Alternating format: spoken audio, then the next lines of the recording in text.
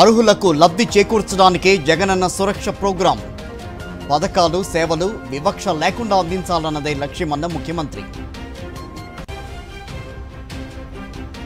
జగనన్న సురక్ష కార్యక్రమాన్ని ప్రారంభించిన ముఖ్యమంత్రి వైఎస్ జగన్ తాడేపల్లి క్యాంపు కార్యాలయం నుంచి శ్రీకారం చుట్టిన ముఖ్యమంత్రి. పవన్ కళ్యాణ్కు ముద్రగడ మరో లేఖ. తన అభిమానులతో బూతులు తిట్టిస్తున్నారు అంటూ ఆవేదన.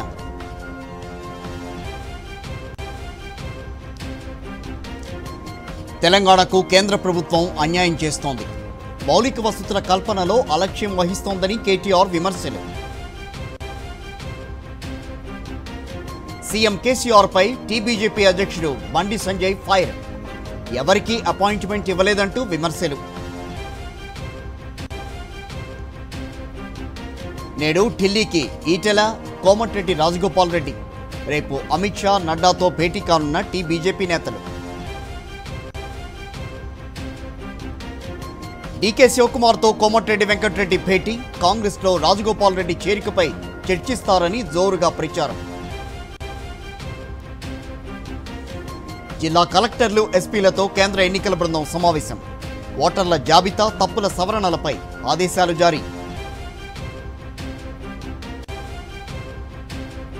శ్రీవాణి ట్రస్ట్ విరాళాలపై శ్వేతపత్రం విడుదల. రాజకీయ లబ్ధి కోసమే ఆరోపణలన్న టీడీటీడీ చైర్మన్.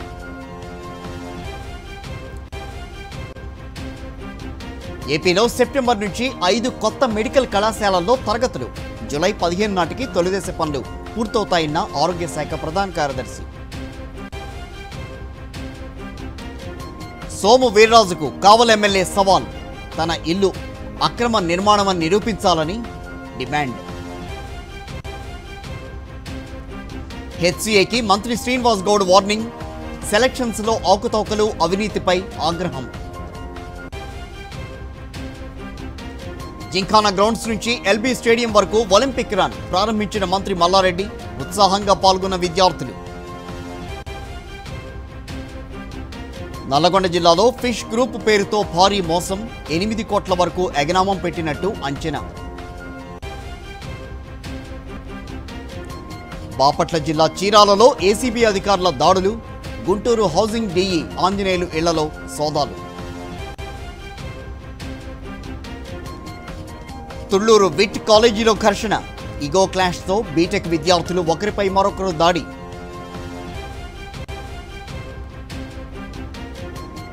ఉత్తరాంధ్రలో తొలి రోజు తుస్సుమన్న టీడీపీ బస్సు యాత్ర.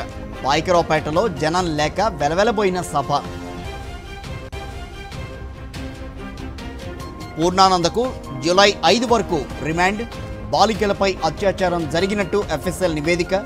జీరో ఎఫ్ఐఆర్ కింద కేసు నమోదు చేసిన దిశ పోలీసులు. చిరుత దాడి నేపథ్యంలో తిరుమలలో టీటీడీ ప్రత్యేక చర్యలు. భక్తులు గుంపులుగా వెళ్ళాలని సూచన. అలిపిరి వద్ద మైకుల ద్వారా అనౌన్స్మెంట్.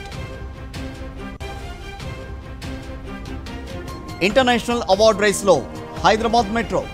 తుది ఐదు వందల నామినేషన్లలో ఎంపికైనట్టు వెల్లడించిన స్పెయిన్.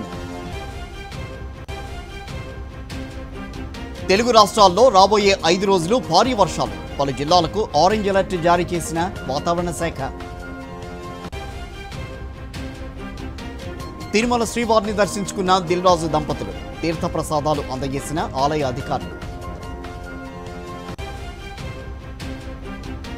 బీహార్ రాజధాని పాట్నాలో విపక్షాల భేటీ. సార్వత్రిక ఎన్నికల్లో బీజేపీని ఎదుర్కోవటమే లక్ష్యంగా చర్చ.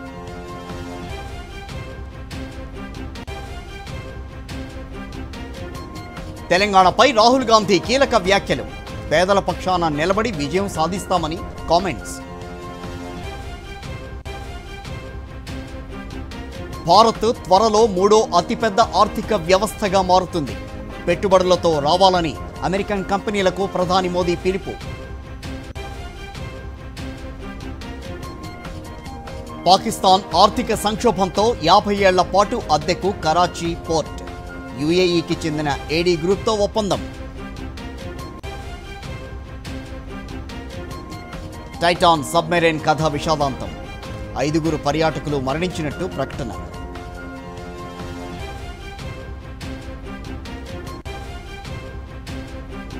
కొత్త చీఫ్ సెలెక్టర్ పదవికి దరఖాస్తులు ఆహ్వానించిన బీసీసీఐ ముందు వరుసలో డాషింగ్ క్రికెటర్ వీరేంద్ర సెహ్వాగ్.